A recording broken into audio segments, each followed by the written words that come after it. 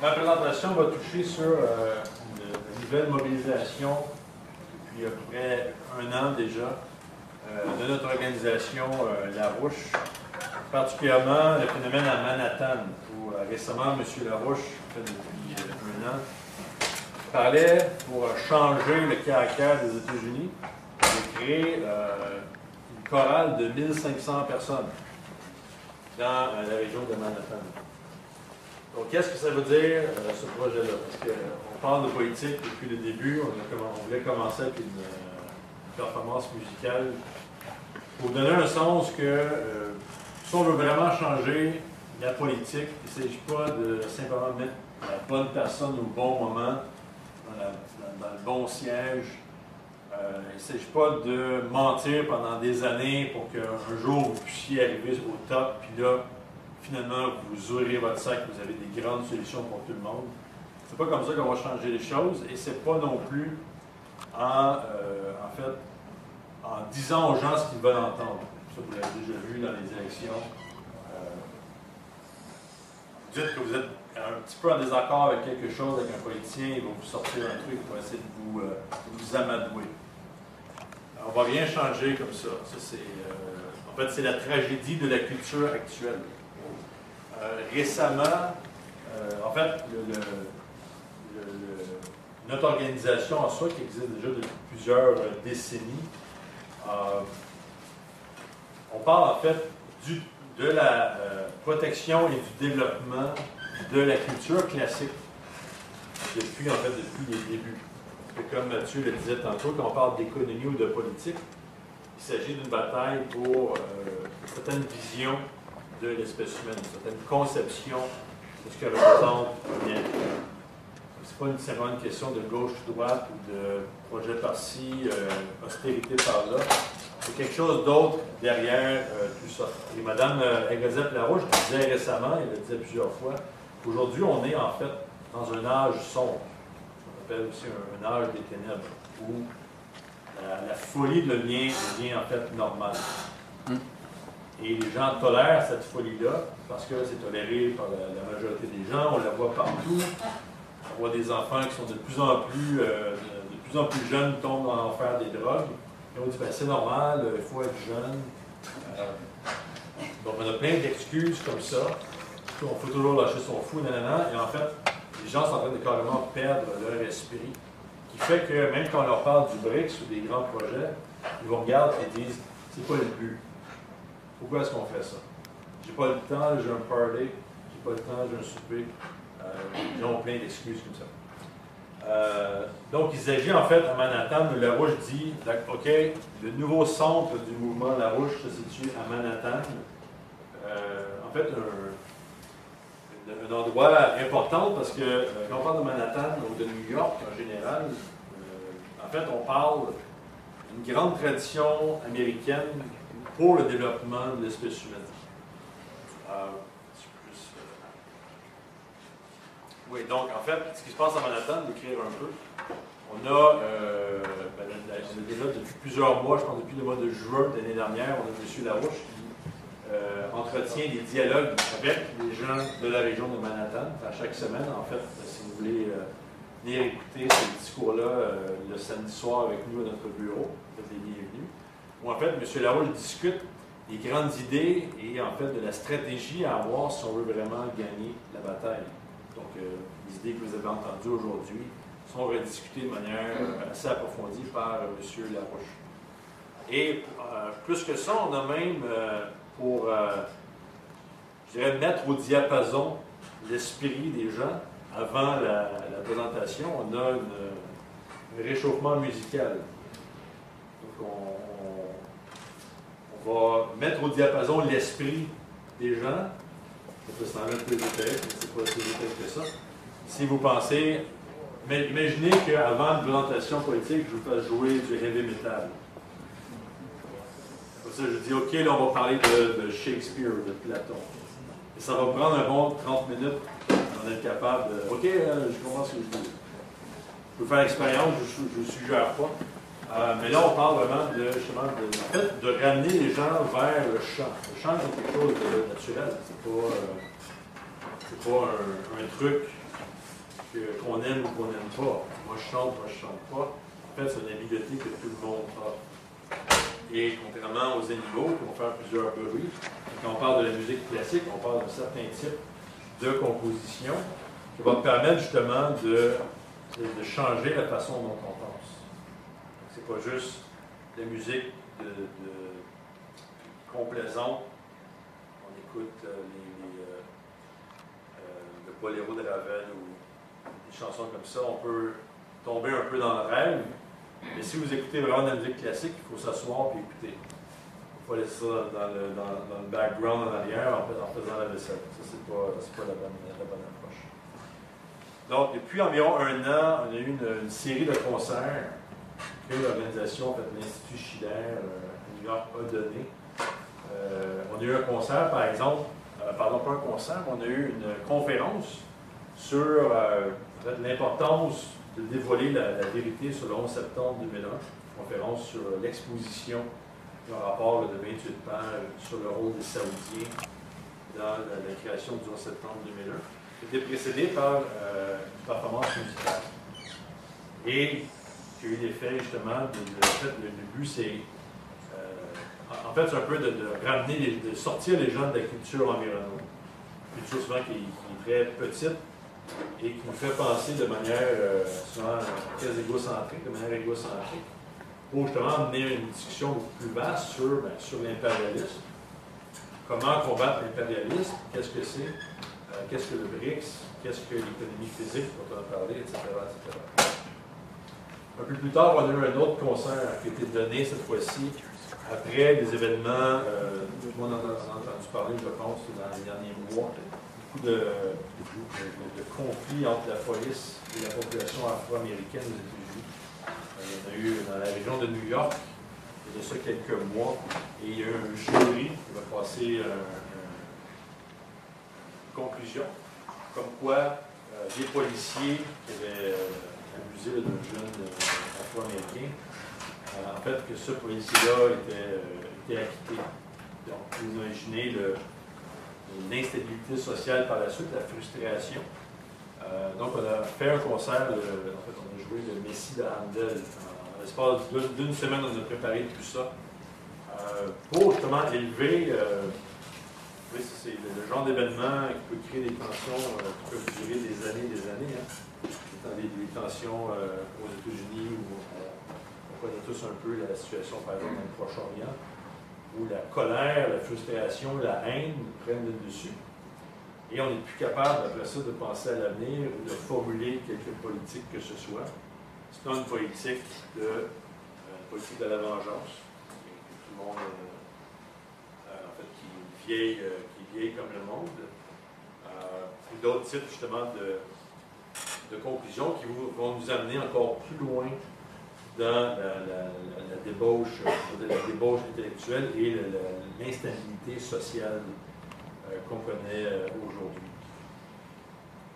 Euh, et donc, plus récemment, on a eu la création formelle de la, de chorale de, la chorale de la communauté de New York. Et à la fin du mois de décembre, on a eu la prestation d'un concert, le, Messie de Handel, en fait, deux présentations totalisant, en, tout, on a eu 1000 personnes qui sont venues voir le concert. Et à ce moment-là, M. Larouche a dit on vient de changer le caractère des États-Unis avec ces prestations-là. Euh, comme on va le voir tantôt, euh, la musique, il ne s'agit pas simplement de notes. Une note qu'on met dans un ordre précis. Il faut répéter chaque note. Chose plus euh, subjectif.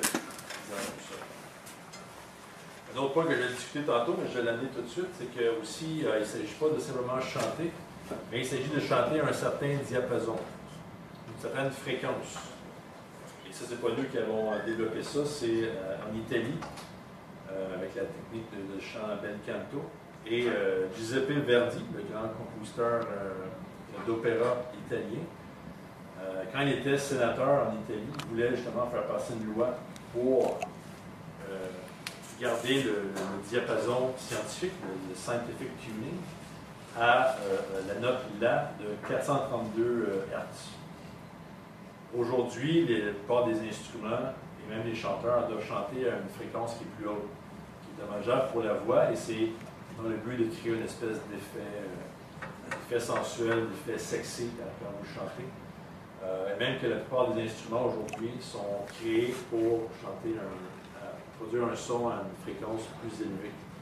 notre organisation avait une pétition dans les années 80. Plusieurs grands chanteurs, dont euh, Luciano Pavarotti, Placido Domingo, ont signé pour baisser, le, euh, ramener le, diapason au La 432. On pourrait en parler longtemps, mais je vous dirais juste que si vous voulez vraiment voir la différence, il faut chanter. Vous de le chanter, vous allez voir, un peu plus euh, pourquoi c'est important. Euh, il ne s'agit pas juste d'une règle, règle biologique, quelque chose comme ça.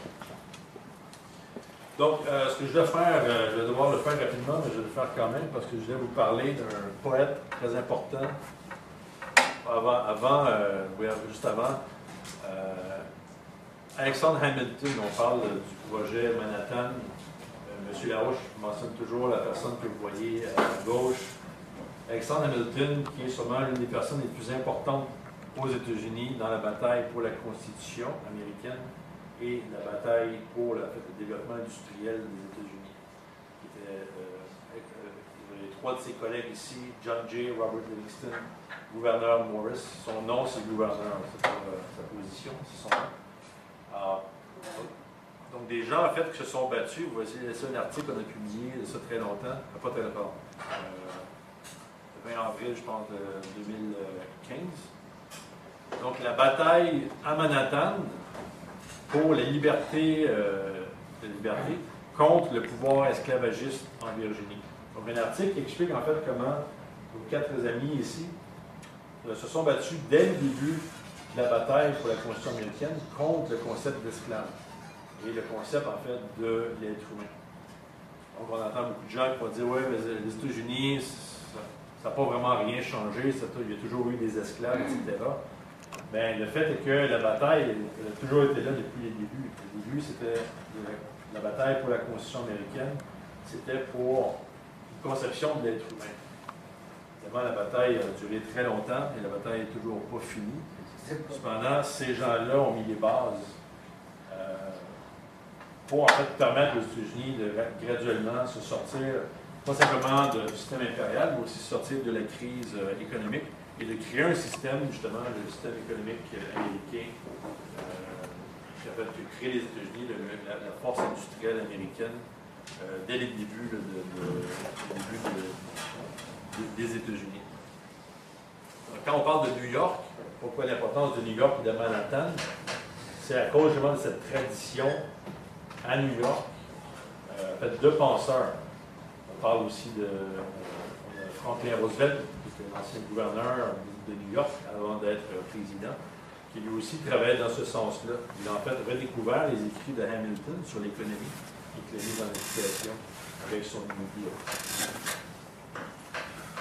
Donc, Frédéric Schiller, un poète, euh, peut-être, si vous le connaissez, vous avez sûrement entendu parler. Poète qui, est mort en 1805, il était actif. Je crois qu'il est mort dans la quarantaine, il était très jeune. Euh, donc, il était très actif. C'est un poète euh, qu'on appelle le poète de la liberté. Quelqu'un qui a beaucoup écrit sur ce sujet-là. Et euh, Frédéric Schiller a écrit sur quelque chose de très important. Il a écrit plusieurs lettres en 1794 sur un concept, le concept de l'éducation esthétique de l'homme. Donc, en fait, la question qu'on se pose aujourd'hui, c'est comment est-ce qu'on va pas simplement changer les masses, les, gens, les gens qu'on rencontre, mais comment on va les ennoblir? Comment on va les rendre des meilleures personnes? Parce que, euh, comme à l'époque, je parle du 18e siècle, on est, quand même, à une époque où il y a eu un certain développement philosophique, un certain développement scientifique. Cependant, les gens réagissent toujours de manière euh, bestiale. Mais qu'est-ce qui se passe? Par exemple, euh, à l'époque, l'Europe, et M. Schiller avait été déçu par la Révolution française, qui avait en fait mené un courant de violence qui a été remplacé par la suite par un système impérial avec Napoléon. Donc on avait en fait raté un grand moment. L'histoire avait, euh, rencontré un petit peu. Donc on avait en fait échoué dans notre création d'une république d'une nation pour le développement euh, humain.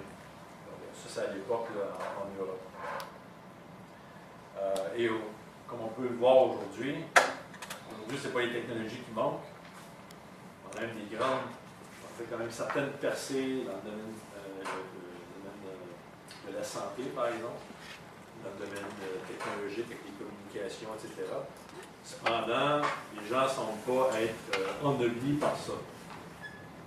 si vous regardez euh, ce que les gens consomment sur Internet, c'est rarement des pages philosophiques. C'est autre chose. Donc, Schiller dit en fait qu'il faut oser être sage. En fait, il parle d'un combat contre l'inertie, l'avachissement et la, et la couardise.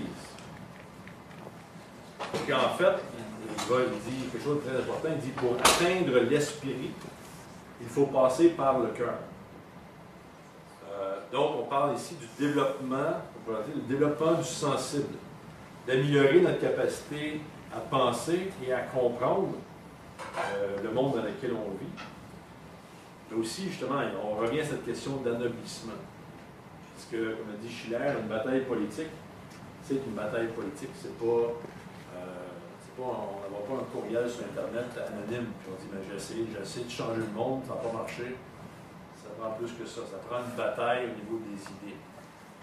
Et si vous faites comme nous, on peut vous organiser dans la rue, ben, c'est difficile parce que les gens à qui vous parlez souvent, euh, on dirait qu'il faut refaire l'éducation du début. Donc ça peut sembler difficile. Mais c'est pour ça que la question de l'éducation esthétique devient importante. Et Schiller parle de ce qu'on appelle le bel art, le beautiful art. Et que euh, quand on regarde l'art et la science, en fait, l'art et la science sont des choses qui ne sont pas pratiques en soi, dans le sens où euh, pour faire une belle peinture, pour faire une grande découverte scientifique, euh, c'est plus que de mettre les A avec les B. Il y a quelque chose demande une certaine créativité qui meurt dans un quand, quand l'art meurt aussi. Euh, Schiller dit que, en fait, euh, l'art et la science sont immunisés contre les hommes sans loi. Donc, ils sont immunisés contre l'anarchie ou contre l'oppression. Il dit on peut enfermer un ennemi de la vérité. Can suppress a friend of truth.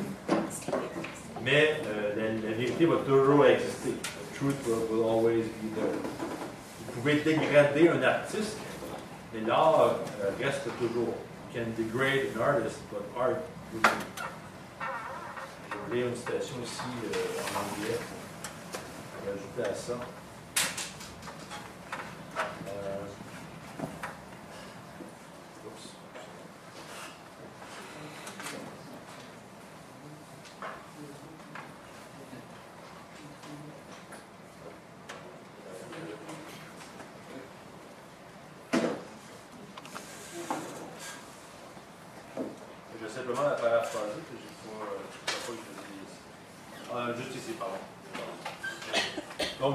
Je vais ajouter à ça. par la suite. Donc la question se pose, comment est-ce qu'on va en fait reconquérir l'âme des gens qui ont été dégradés ou euh, qui ont été, dégradés par la culture ou qui sont malheureusement sous-développés à cause de la culture? Donc euh, Schiller dit, People's taste is purely in their hearts. In vain will assail their maxims. In vain you will condemn their deeds, but you can try your fashioning hand on their idleness. Drive away lawlessness, frivolity, and brutality from their entertainment, and you will perceptibly banish it from their actions and finally from their character. Where you find them, surround them with noble, great, and ingenious forms. Place the symbols of excellence all around them until reality is overcome by appearance and nature is overcome by art. Donc il dit, euh, rapidement en français, dit le, goût, si on peut dire le, le sensible, est compris à travers le cœur. Vous pouvez attaquer les habitudes des gens, vous pouvez attaquer leurs actions. Fais pas ça, fais pas ça. Euh, mais ça ne va pas fonctionner. Vous allez faire ça en vain. Mais vous pouvez quand même travailler sur ces gens-là. Justement, ils ont beaucoup de, temps, libre. Donc, rejeter ou repousser euh, loin d'eux euh, l'anarchie, la frivolité, la brutalité. Retirer tout ça de leur divertissement. Retirer ça de leur entertainment. vous allez réussir à bannir de manière imperceptible au début cette brutalité et cette frivolité de leurs actions et ensuite de leur caractère. Quand vous les trouvez, entourez-les de formes, donc de, l'art, d'un art noble, grand et ingénieux. Entourez-les de symboles d'excellence jusqu'à ce que leur réalité soit, euh, soit remplacée par l'apparence et la nature soit euh, surpassée par l'art. Donc on parle justement, quand on parle de nature, je peux penser justement à l'environnement qui nous entoure.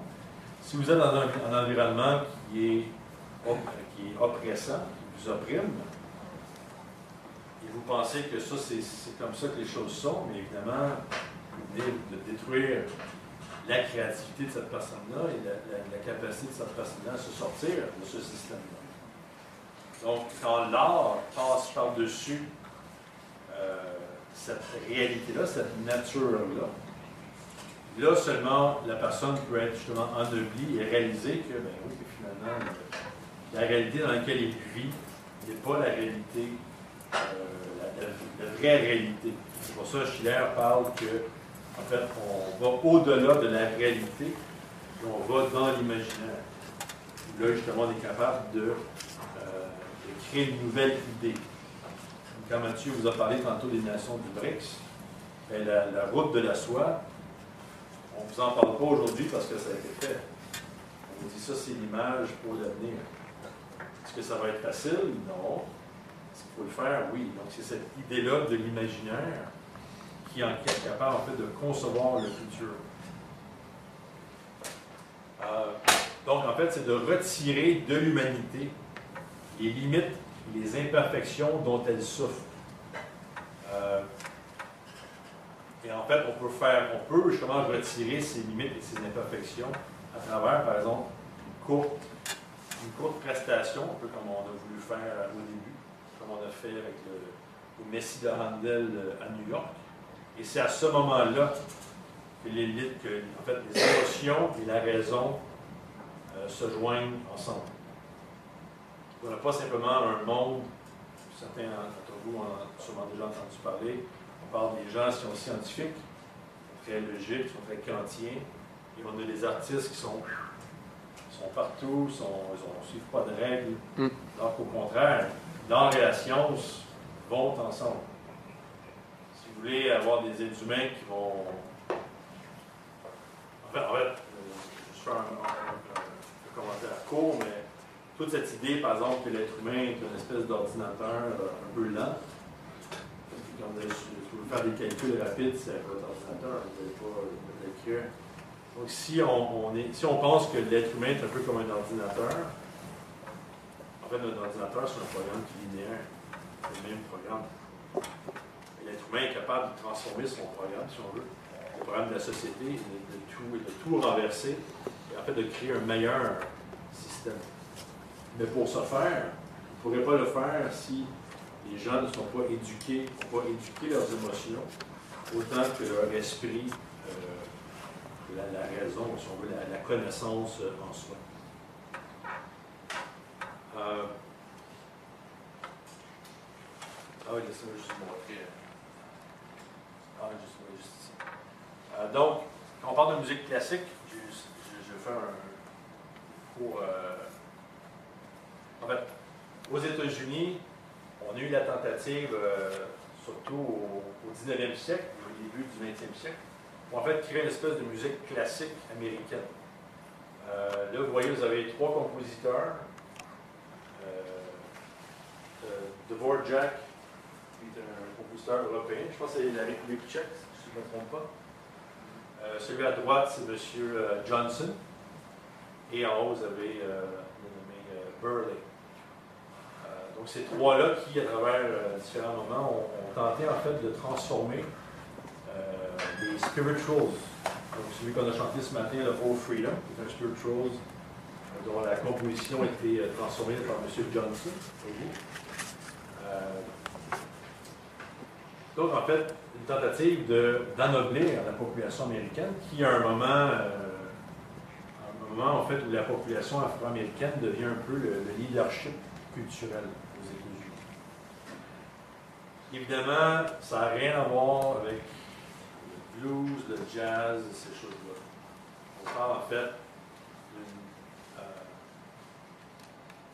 fait, de, la culture afro-américaine qui commence avec les spirituals. Vous pouvez faire l'expérience, comparer, vous allez voir qu'il y a quelque chose en fait qui est beaucoup plus euh, humain et universel dans un spirituals que par exemple dans un gospel, dans un, euh, blues où euh, la musique est, est très. euh, Pierre une musique très euh, de base, c'est quelques notes, quelques accords et c'est tout.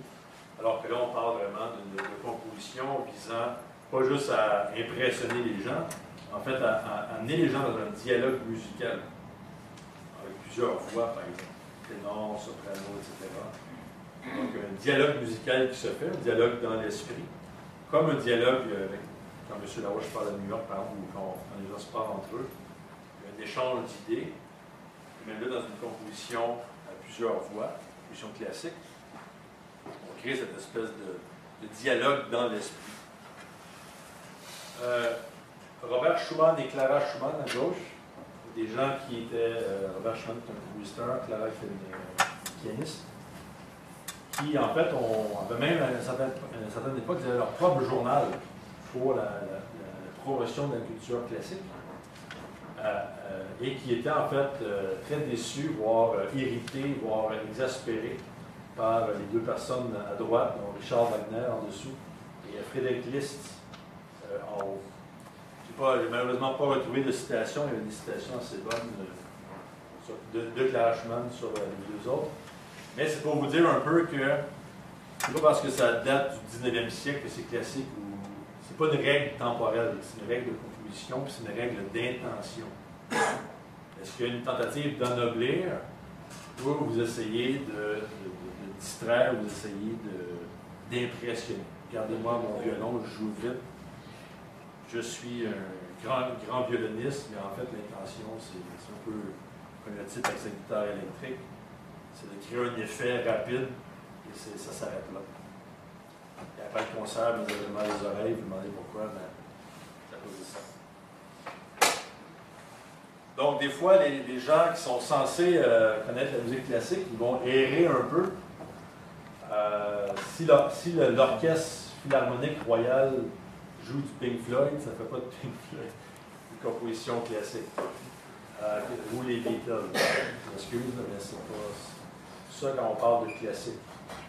Et M. Pavarotti, qui, vers la fin de sa carrière, euh, il a le droit de s'amuser un peu. Euh, on ne va pas le blâmer trop trop, mais euh, en fait, si vous avez la chance d'écouter euh, le, le duo Pavarotti-Brian Adams, euh, c'est assez drôle. Pour Brian. You don't want to show Là, je sais pas les. Ça donne rien. Vous avez déjà entendu Brian Adams chanter ou Pavarotti, c'est une de les deux ensemble. Le point, c'est que quand on parle de musique classique, c'est ça. Le, point que je veux faire, c'est qu'il s'agit d'une intention. C'est d'une intention et aussi d'une méthode. C'est-à-dire que euh, Brian Adams peut essayer de chanter euh, de la musique classique, mais il va devoir travailler sur sa voix beaucoup. Parce que c'est quelqu'un qui a développé une voix pour créer un effet. Ou la différence, par exemple, de Pavarotti, où on parle de, la technique bel canto, du beau chant, qui développe la voix d'une manière un peu ultime. C'est vraiment la voix la plus, pas seulement la plus euh, forte, mais la, la- plus belle qu'on peut avoir. Il y a cette idée de, beauté et de puissance en même temps dans, le développement de la, de la voix humaine. Alors que vous avez ça, Brian Adams ou Mar- Mariah Carey ou les, chanteurs pop en général vont créer un effet. Vont essayer de vous, euh, de vous séduire pendant les trois minutes et qu'ils vont chanter, qu'ils vont danser euh, surtout. Ok, euh, juste regardez le. Quelle heure il est? 4h30 déjà. Euh, regardez, euh, j'avais une autre partie sur le, en fait, le, le rôle de l'Empire britannique dans la transformation de la culture. Parce que quand on parle de culture moderne, il ne faut pas seulement parler d'un phénomène social. En fait, il y a des gens euh, en politique, en sciences, en art, qui vont créer des, types de, chansons, des types d'art qui visent en fait à, justement à détruire cet anomalisme de la personne. Par exemple, quand vous avez quelqu'un qui va vous dire Oui, euh, la, Joconde ou euh, les impressionnistes, pas les impressionnistes, mais mettons les cubistes, les espèces de, de peintures où on s'amuse à lancer de la gouache. Oui, ça ou la Mona Lisa, ça, ça s'équivaut, c'est une question de goût. Là, vous avez un bon exemple votre culture ne va pas aller très loin si vous pensez comme ça.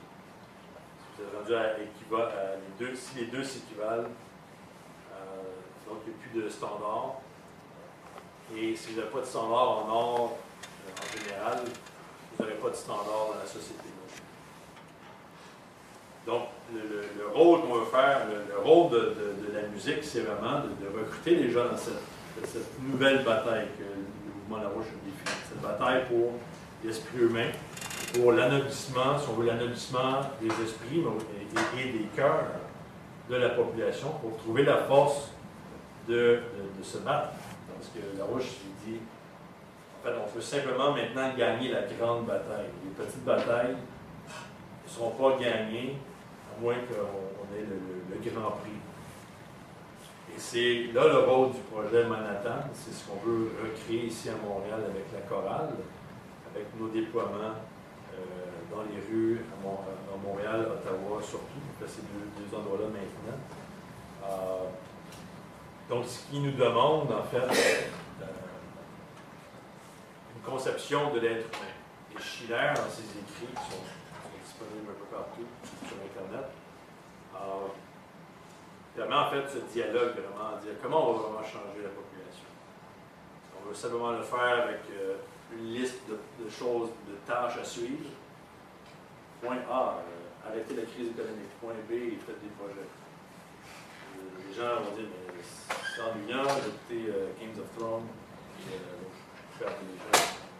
Donc, je dirais, juste pour terminer, on va prendre des questions pour les autres panélistes aussi. Euh, je vous inviterai tout le monde ici à joindre notre chorale. Euh, on pratique la chorale le samedi, le dimanche et les soirs dans la semaine. On a toujours des gens qui sont euh, présents. Et aussi de se joindre à nous tantôt vers 18h où on va aller au parc le Square Phillips devant la baie pour faire un déploiement musical avec des discours, des bannières, des tracts. C'est quelque chose qu'on veut aussi commencer de manière, euh, de manière constante. Donc, je terminerai ma présentation là-dessus. A des questions, euh,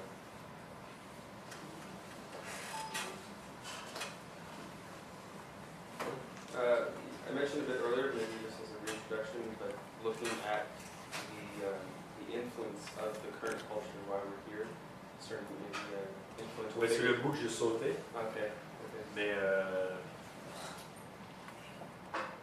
Jean, tu tu continues jusqu'à 5 heures. C'est c'est pas.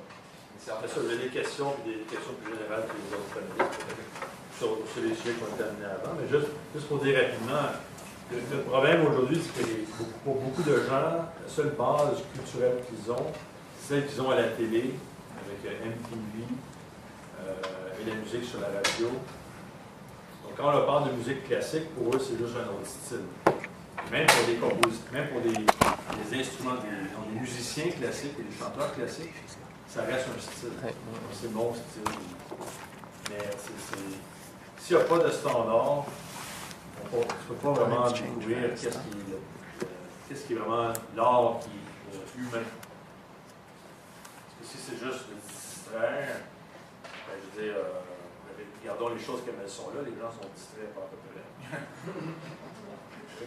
Fond, euh, on- on n'invente rien, on redécouvre, on veut. C'est- c'est- c'est- Exact.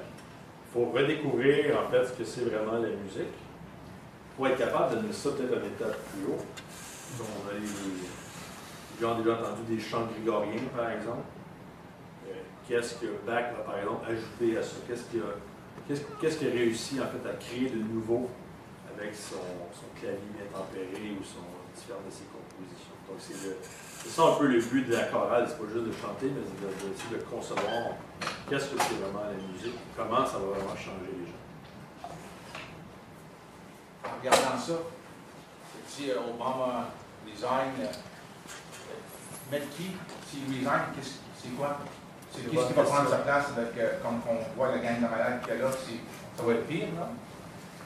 Euh, Design, ok, c'est non. bon, mais qui à sa place C'est quoi?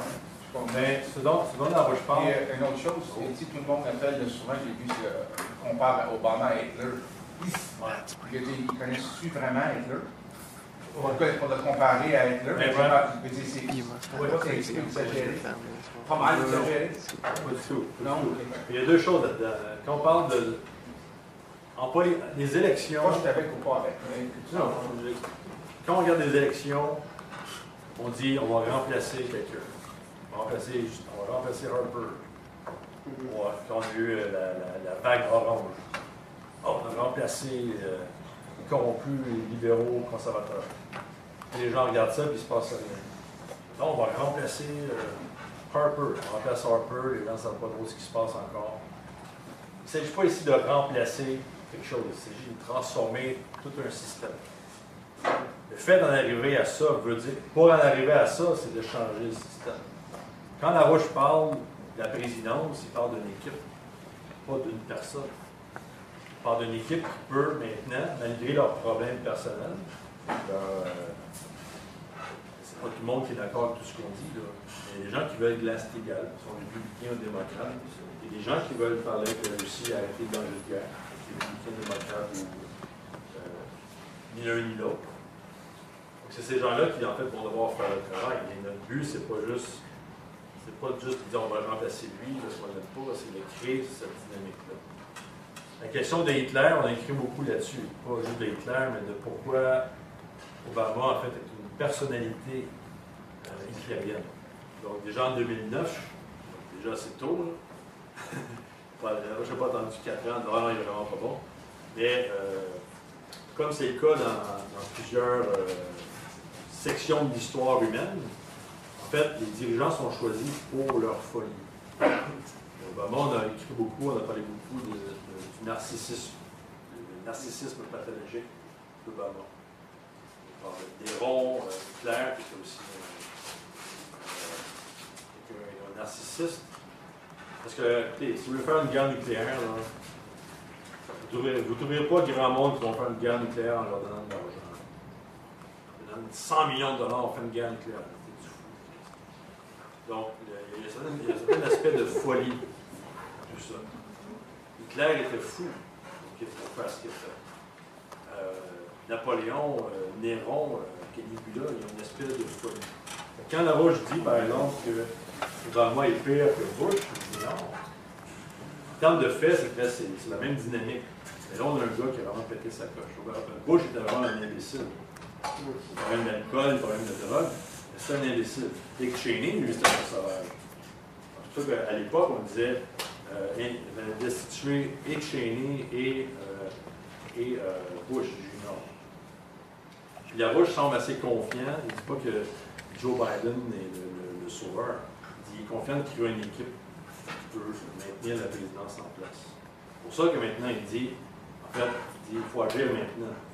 Donc, si vous regardez les élections présidentielles, Larouche dit euh, dénoncer euh, Trump le plus possible, il que ça devienne un, passe-temps mondial d'attaquer Trump, mais aussi Hillary Clinton, plus qu'elle était. Donc, de créer une situation où on crée maintenant, avant les élections, le glace Steagall. C'est pour ça que Larouche parlait de Martin O'Malley, parce que Martin O'Malley dit glace Steagall maintenant, pas en 2017. Déjà là, c'est une méchante étape comparativement aux autres clowns. Mais O'Malley, il traîne la patte Là, je sais pas si, je sais pas si je devrais dire ça. Ou... Là où je dis, ben, arrête, là, dis-le. Gagne, gagne de l'appui, bâtis, bâtis ta, ta campagne maintenant. Euh, pas de trouver, d'avoir le bon moment. là. Lâche pas après New Hampshire, continue avec la même, euh, dévotion pour le, le Glass-Steagall. Donc, un peu pour la même raison qu'on chante. Pourquoi est-ce qu'on chanterait? Est-ce qu'on ne perd pas du temps qu'on devrait consacrer à l'organisation politique? Pour contribuer vers le chef, pour amener le monde à penser. Oui, c'est ça. Si les gens ne passent pas de manière différente, on va toujours avoir un problème dans, dans le gouvernement. Et si on arrive à court-circuiter le problème avant, en fait, de court-circuiter la dynamique impériale ou euh, fasciste, euh, le terme, là, vous avez une chance de changer le système, sinon, on répète. Oui, madame. Euh, Bonjour tout le monde. Moi, je, je connais à peu près le, le- le mouvement La Rouge, Ouais. c'est ça Oui. Et j'ai raté la première heure, donc je ne sais pas de quoi on va parler. C'est bon, d'après ce que j'ai entendu, le- les projets pour euh, s'impliquer avec le Brexit et tout ça, ça c'est très intéressant. Et moi, j'aime bien que le Canada participe un peu. On ne reste pas. euh, on appartient à la Grande-Bretagne, on appartient à l'E- aux États-Unis. On aime bien être libre, hein, notre propre Ouais, ouais. politique. Par exemple, justement, par exemple, maintenant, moi, je, je travaille avec les, les réfugiés syriens. OK, OK. J'ai vu vraiment et j'ai entendu des choses vraiment euh, impardonnables. C'est vrai, BRICS, c'est bon, la Russie, tout ça, mais euh, j'ai entendu dire aussi que la Russie sont en train de bombarder le peuple syrien. C'est par des Syriens qu'on m'a dit. Pourquoi politiser? Déjà ça. Euh, la- en, en Égypte, je, je suis, je, je poursuis toujours ce qui se passe là-bas. Vous avez parlé des- de, de la folie, ils encouragent. Oui, effectivement, le général qui a fait le, le- le coup contre le président élu Morsi, le Sisi, il est en train de tuer tout le monde, toute personne euh, contre lui a- emprisonné. Il viole les enfants, les garçons, les filles, les hommes sont violés. Et Oui, pourquoi euh, les Human Rights, euh, Amnesty, je les ai contactés, ils ne peuvent rien faire Comment y a, le, problème, c'est qu'il y a maintenant, puis Mathieu en a parlé euh, écoutez, C'était fou ça. le, le- le- le- point maintenant, c'est que si on veut connaître la vérité, si on veut connaître euh, en fait, la, la- la- la direction dans laquelle il faut aller, écoutez, la, pas que je connaisse tous les faits en Égypte. déjà, même, même, même j'ai une vidéo, je ne l'ai pas ramenée avec moi. Euh, Netanyahu, la semaine, ça fait deux semaines de cela, il dit l'Arabie Saoudite et l'Égypte sont les meilleurs alliés des pays. Oh my God! Regardez, Ah, c'est pas encore là. Euh, euh, prenez juste l'exemple de l'équipe. Quand la rouge parle de l'équipe présidentielle, quand on parle d'une équipe, quand on parle du BRICS, on parle d'une équipe. Euh, tu parlais des, des différents conseillers. Euh, le président a toujours deux oreilles. Et le- le problème, c'est qu'on a affaire, et c'est là la question d'anoblissement, c'est-à-dire que tout pays a une histoire en général assez sale, même le Canada, l'Afrique. On est bon dans, ça aussi. Le, problème actuel, c'est justement, c'est que, bon, vraiment, les médias, là, je pas tous les faits, mais c'est sûr que les médias, en cachant les BRICS, le concept des BRICS, en s'attaquant à la Russie, la Chine, on est direct, on ne peut pas faire confiance à ça.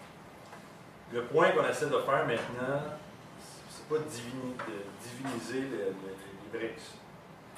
Il faut que le Canada, justement, change de trajectoire pour se diriger vers une trajectoire de l'avenir. Les BRICS dessinent ça. Est-ce qu'ils passent plein d'autres choses en même temps? Ben, c'est sûr. Les Russes, s'ils ont envahi- à envahir un endroit, peut-être qu'ils vont le faire. Ils vont le faire dans leur propre intérêt, même si ça choque, ça choque le temps. Donc, moi, je n'ai pas le contrôle sur tous ces pays-là. Le fait est clair, et Mathieu avait une bonne présentation là-dessus, la dynamique est en train d'être créée. Est-ce que, est-ce que moi, je vais me contenter de critiquer ce que Harper a fait pour dire que le Canada va aller nulle part? Ben, je ne peux pas faire ça. Est-ce qu'il faut que j'endosse le gouvernement canadien à 100 Ben non. C'est de parler aux gens sérieux. La Roche a fait ça beaucoup en Russie depuis les années 90. Euh, beaucoup de gens dans l'intelligentsia russe qui connaissent la Roche puis. Puis il y a des gens aussi, autant ici, qui connaissent la rouche. Il faut poursuivre leur, éducation. Euh, il faut vraiment. euh, on parle de changer le système. Donc, le système dans lequel on est est très crasse et très sale. Il va le rester quand même, malheureusement, pendant un petit bout. Il faut recruter le plus de gens possible à créer cette nouvelle dynamique. Sinon, ça va être encore pire. Ce que vous avez entendu, ça fait dix fois pire. Ju- Justement parce que moi, quand j'ai Juste la crise des réfugiés, c'est déjà assez. C'était bien, c'était bien, mais quand j'ai entendu par mes propres oreilles des Syriens qui me racontent que la Russie bombarde les Syriens, ils n'ont pas ISIS, Mais c'est ça. euh, C'est questionnable quand même. Comme, comme, euh, parce qu'avant je croyais vraiment BRICS, la Chine, la Russie, vraiment c'est bien. Non, mais juste parce qu'ils viennent de la Syrie puis ils disent la Russie est en train de faire tel et tel. Regarde, on parle des Canadiens chaque jour qui sont au Canada, mais ils n'ont aucune idée de ce qui se passe au Canada. Fait quand On rentre. peut-être un meilleur exemple, un autre exemple, parce que notre, notre équipe en Suède a rencontré des dirigeants du gouvernement syrien pour leur Ouais. parler d'un projet de reconstruction. Parlait aussi du projet euh, très peu connu qui date de 2004, euh, cinq- la, vision des cinq maires du président Assad. Depuis 2004, Assad qui fait la promotion d'un projet de développement régional, pas de la Syrie, mais de la région en son entièreté. Euh, et justement, nos, membres en Suède, on parlait de ces dirigeants syriens, pas parce que les dirigeants syriens étaient des humanistes euh, parfaits, mais parce que ces gens-là ont vu ce qu'on voulait faire ont trouvé que c'était une bonne idée. Donc, euh, projet d'électrification, et tout ça. Donc, c'est de, poursuivre ce, type d'échange-là, puis ce type d'éducation, euh, de la population et des, just like you're saying, you know, we have a rich history of things not necessarily working out to the best, or people losing power, or you know, so on and so forth. And it's important to know the history so you know where we went wrong and learn from the past. But I think the most important thing to take away from today, or at least what I'm taking away, is that there are also examples of positive things that have happened in the past, and to learn from those positive things, and to take those positive things, and to move and progress into the future not just focus on all the negative things that are going on. If you focus on the negative, you're only going to expand on the negative. You're not going to be looking necessarily for all those positive solutions. Because yes, we have problems. There are lots of problems, but we need solutions. So even before the gentleman just left, but he's talking about who are we going to replace as president. We can replace the president with anybody, but if the population doesn't isn't inspired, doesn't have hope to move into the next you know, the next stage of humanity, there's really no point. You, you know, you can just get assassinated just like Kennedy. So this is, I think, what's more important is the self-organization.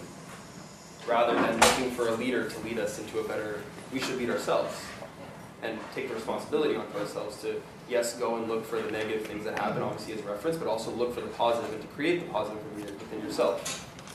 Vous euh, prenez juste exemple, euh, exemple rapide, mais quand vous avez un roi ou une reine à l'époque, pouvez avoir un roi qui est complètement fou, euh, une horrible, une personne complètement horrible, et soudainement cette personne-là décide, comme par exemple Louis XIV, considéré comme étant un fou pas mal, et a réussi à faire des bonnes politiques pour la France à cause de certains de ses conseillers, dont Jean-Baptiste Colbert.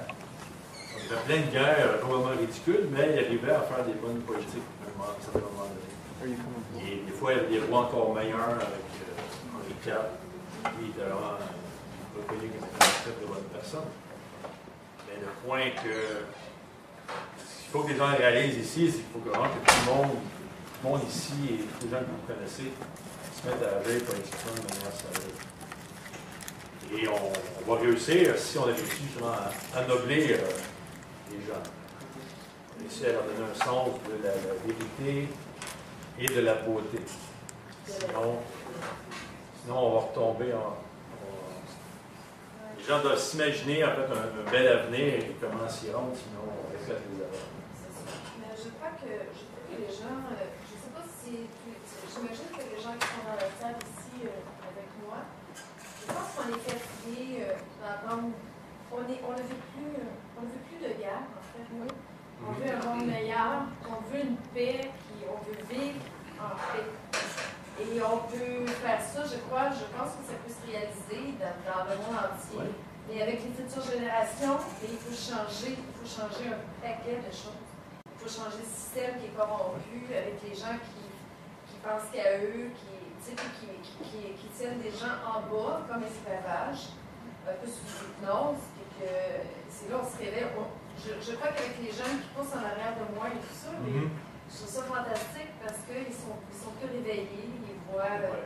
plus les choses. euh, puis je pense que oui, ça, ça va se faire, ça va se passer, mais ça, c'est pas du jour au lendemain. L'Europe, l'Europe, c'est déjà euh, entre déchiré pour les guerres de religion. Les Français détestaient les Allemands et vice-versa. Les, les guerres, les gens ne comprenaient même pas pourquoi ils se tapaient sur la tête. À un certain point, il y a eu des leaders qui ont dit assez, c'est assez. Manière Aujourd'hui, ben, bon, l'Union européenne, c'est de la merde, mais il y a un développement qui s'est fait de, de, de l'Europe démontre le, le potentiel humain pour arrêter, de, arrêter la guerre. C'est- Euh, je veux juste dire que je suis très fière d'être chinoise aujourd'hui. C'est la première fois que j'ai entendu le, le, le, le Silk Road. Ouais, ouais. Alors, merci de votre campagne à Ouais, ouais. Je voulais juste dire que euh, moi, je viens des Philippines. Mon père Ouais, vient ouais. de Chine. Ma mère, son père vient de Chine. Mais sa mère était une Philippine. OK. Et mon père ne veut pas, euh, il a détesté les Américains. Ouais. Alors, il ne veut pas euh, euh, apprendre d'anglais. Ah, OK. ok, Pour être un citoyen de Philippines. Ok. Et il m'a dit toujours, un jour, la Chine va être le, le leader dans le monde. Ah, OK. Alors aujourd'hui, il va être très fier. Oui, puis ils ont une bonne, bonne, bonne, bonne politique. Ont une bonne politique en plus. Mais je veux juste dire une chose, ok? Parce que euh, les Philippines étaient euh, colonisées par l'Espagne depuis 400. Et après, c'est les Américains qui viennent. Oui. Elle a commencé depuis 100 ans. Mais euh, les, les Américains donnent l'éducation, tout ça. Oui. Mais il a aussi euh, colonisé les Philippines par le peuple philippin, par les gens philippins. Oui. Oui. Alors, c'est, ça, c'est moins euh, indirect. Oui. Pas directement les Américains qui sont les oligarques des Philippines. Alors, il a baissé l'économie, il a volé tout le qu'il peut voler. Alors, les Philippines viennent très fort. Alors, maintenant, aujourd'hui, vous voyez tous les, les professionnels euh, femmes philippines Qui- viennent ici travailler comme les domestiques et tout ça. Mais maintenant, c'est la Chine qui est le prochain oligarque aux Philippines. Et parce que le- la Chine est plus proche aux Philippines que les Américains. Mhm. Maintenant, euh, par exemple, je vous donne un exemple. Il y a une euh, petite île, parce que les Philippines compris les 7000 îles, ok? Alors, le, le Chine, le, le Chinois, il, euh, dit bribe. Des euh, pots de vin, des pots de vin. bribe la mer d'une petite île. Il a of uranium. Mais sur le, le bateau Oui. chinois, il est tout euh, en Il y a beaucoup de, ouais, il y a beaucoup de batailles de territoire dans la région de la mer de Chine. Alors ça, euh, puis les, les 10 euh, les plus riches euh, hommes en Philippines, tous sont les Chinois ici. Mais le- le- le point important pour un pays comme les Philippines ou les, les petits pays, c'est que la, la Philippine maintenant, les Philippines, ils ont un choix à faire. Soit ils vont laisser Obama amener ses troupes dans les bases phili- philippiennes. Et là, la, Cour suprême euh, de- des Philippines, ils ont jugé que le président Aquino peut faire ce qu'il veut. Il peut équiper les troupes américaines. Le Sénat philippino était contre. Mais le Sénat disait vous ne pouvez pas amener les troupes, il faut passer par le gouvernement, le Congrès, le, le Sénat. Là, la Cour suprême a dit le président Pino peut agir avec son pouvoir exécutif et inviter euh, n'importe qui euh, dans les bases militaires euh, des Philippines. Les Philippines sont utilisées pour faire une guerre nucléaire contre la Chine. C'est sûr que les Philippines vont être effacées de la carte très rapidement. Et ça, ça nous en fait, le même genre de, discussion à l'époque de la, la guerre en Grèce, la guerre du Péloponnèse, donc moins 300 avant Jésus-Christ, où il y avait des nations qui voulaient rester neutres. On dit non, euh, merci monsieur Athènes, on ne va pas se battre avec vous, on ne veut pas avoir de bataille. Les Athéniens disaient, Hum, je te conseille de bien nous joindre parce que tu ne vas pas vivre longtemps. Ça, c'est la dynamique euh, de, guerre, de, de- guerres impériales. Donc, c'est pour ça que la question du BRICS devient plus importante. Parce que c'est les, les Philippines font partie de la banque d'investissement dont, euh, Mathieu parlait, la, banque pour les investissements des infrastructures asiatiques. Les Philippines, ont ce choix-là. Soit on va vers le développement, ou on se fait détruire avec le reste du monde, nucléaire. Et ça, c'est pas le. c'est pas le genre de, question facile à, mettre dans la tête de quelqu'un, c'est des grands sujets. Je sens que les Philippines, tellement, n'a pas de choix. Parce que. Elle a un choix, mais elle est- si elle agit toute seule, les Philippines, c'est petit pays. Vous voyez, les gens devaient écouter il y a les des Américains avec des, euh, des bases, des American Ouais. bases. Mais maintenant, la Chine a créé un petit ville euh, au China Sea qui appartient aux Philippines. Mais elle a pris ça de China Sea. Je, je dirais que l'important, c'est que les gens doivent écouter euh, des opéras, pas, les- pas juste des extraits. Parce que dans les opéras, les gens se posent des vraies questions. Vous avez l'opéra, par exemple, de la pièce de théâtre Othello ou euh, la pièce Don Carlos en opéra. Il y a un des, monologues, un monologue musical sur euh, est-ce que je sauve mon pays ou je ne le sauve pas? C'est vraiment ça. Est-ce que je me sacrifie pour mon, pour mon pays, pour mon, ma famille, etc. C'est pas euh, I love you, you love me. Quelque chose, des sujets très importants qui ne peuvent être adressés qu'avec une musique euh, de ce niveau-là. Quand on voit ça, ben, on se dit, peut-être a des petits problèmes, ou les, en fait, les problèmes régionaux, en fait, ne sont pas les vrais problèmes à adresser, c'est quelque chose de, supérieur à Il y a un groupe, euh, il y a un groupe euh, euh, Salah Rachid qui chante pour la paix internationale. Je peux vous mettre en contact. ouais. Il fait de très bonnes choses. Très bonne idée. Oui. Pour la paix. Ce que je dis aussi, c'est que je sais que ça élève les vibrations de la conscience. Je trouve ça magnifique parce que ça amène à un autre niveau. Les gens l'expérimentent encore plus quand c'est eux-mêmes qui chantent. Pas juste écouter, mais quand vous êtes dedans, parce que vous allez voir que quand vous commencez, c'est pas, pas facile non plus. Vous chantez votre partition et l'autre chante sa propre partition, ça se mélange. C'est une expérience. Dave, euh, Ah, mais je voulais juste dire, peut-être ça, ça c'est un bon temps de juste inviter tout le monde pour euh, qu'est-ce qui va se passer après, puis qu'est-ce qui va se passer dans les prochaines, euh, durant la prochaine semaine. la salle. euh, Ben, euh, Il est 5 heures, fait que c'est. Mais c'est approprié avec ce qui vient juste d'être dit. moi, j'inviterais donc j'inviterais tout le monde à, vous joindre, à se joindre à nous à 18h devant, euh, le square Philippe, devant la baie. Bon, la, la mobilisation est là-bas. Et aussi, j'inviterais les gens euh, à passer à la table politique. On a plus de documentation, pour les abonnés à nos publications. C'est l'argent qu'on ramasse pour des activités politiques euh, notre travail. Donc, soyez généreux.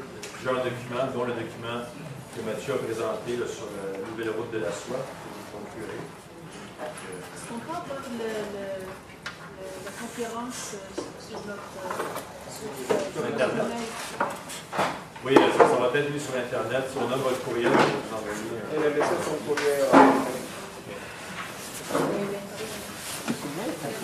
Euh, tout ça. Et Mme euh, Elisabeth Larouche disait récemment, elle le disait plusieurs fois, aujourd'hui, on est en fait dans un âge sombre. On appelle aussi un, un âge des ténèbres, où la, la folie devient, devient en fait normale. Mm. Et les gens tolèrent cette folie-là parce que c'est toléré par la, la majorité des gens, on la voit partout. On voit des enfants qui sont de plus en plus, euh, de, de plus en plus jeunes tombent dans l'enfer des drogues. Et on dit, ben, c'est normal, euh, il faut être jeune. Euh, donc, on a plein d'excuses comme ça. On faut toujours lâcher son fou, nanana. Et en fait, les gens sont en train de carrément perdre leur esprit, qui fait que même quand on leur parle du BRICS ou des grands projets, ils vous regardent et disent c'est quoi le but Pourquoi est-ce qu'on fait ça? J'ai pas le temps, j'ai un party, j'ai pas le temps, j'ai un souper. Euh, ils ont plein d'excuses comme ça. Euh, donc, il s'agit en fait à Manhattan, où Larouche dit OK, le nouveau centre du mouvement Larouche se situe à Manhattan. Euh, en fait, un, un, endroit important parce que euh, quand on parle de Manhattan ou de New York en général, euh, en fait, on parle, pas de ça que vous avez des grandes solutions pour tout le monde. C'est pas comme ça qu'on va changer les choses et c'est pas non plus en, en fait en disant aux gens ce qu'ils veulent entendre ça vous l'avez déjà vu dans les élections. Euh, vous dites que vous êtes un petit peu en désaccord avec quelque chose, avec un politicien, il va vous sortir un truc pour essayer de vous, euh, vous amadouer. On va rien changer comme ça. euh, en fait, c'est la tragédie de la culture actuelle. récemment, en fait, notre organisation en soi, qui existe déjà depuis plusieurs décennies, on parle en fait de la euh, protection et du développement de la culture classique depuis, en fait, depuis les débuts.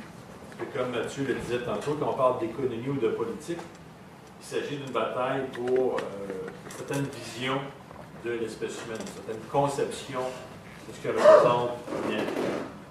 Ce n'est pas nécessairement une question de gauche-droite ou de projet par-ci, euh, austérité par-là.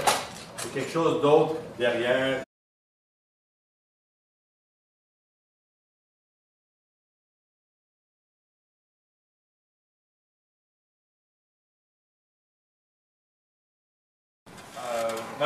Présentation va toucher sur euh, une, nouvelle mobilisation depuis à peu près un an déjà euh, de notre organisation La Rouche, particulièrement le phénomène à Manhattan, où récemment M. Larouche depuis euh, un an, parlait pour changer le caractère des États-Unis, de créer euh, une chorale de 1500 personnes dans euh, la région de Manhattan.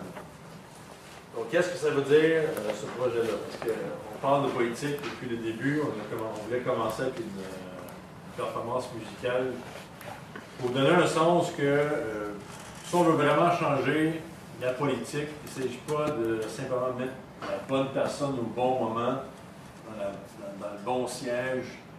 Euh, il ne s'agit pas de mentir pendant des années pour qu'un jour vous puissiez arriver au top, puis là, finalement, vous aurez.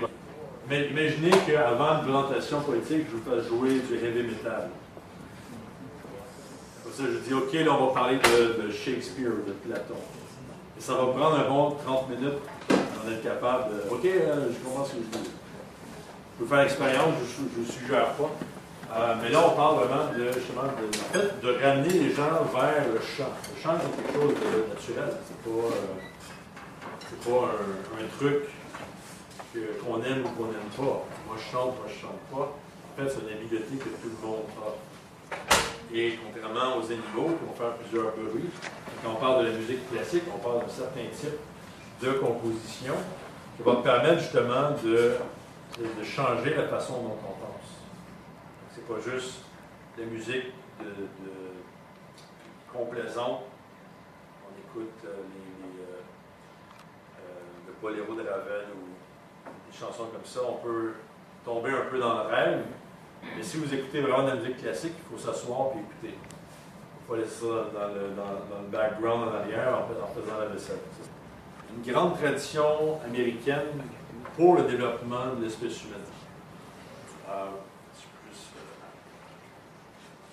oui, donc en fait, ce qui se passe à Manhattan, d'écrire un peu, on a, euh, ben, déjà depuis plusieurs mois, je pense depuis le mois de juin de l'année dernière, on a M. Larouche qui euh, entretient des dialogues avec les gens de la région de Manhattan, à chaque semaine en fait, si vous voulez venir écouter ce discours-là le samedi soir avec nous à notre bureau des bienvenus, où en fait, M. Larouche discute des grandes idées et en fait de la stratégie à avoir si on veut vraiment gagner la bataille. Donc, euh, les idées que vous avez entendues aujourd'hui sont rediscutées de manière euh, assez approfondie par euh, M. Larouche. Et plus que ça, on a même pour je dirais, mettre au diapason l'esprit des gens avant la, présentation. On a un réchauffement musical. Donc, on, va mettre au diapason l'esprit des gens. Ça peut sembler un peu ésotérique, mais c'est pas si ésotérique que ça. Si vous pensez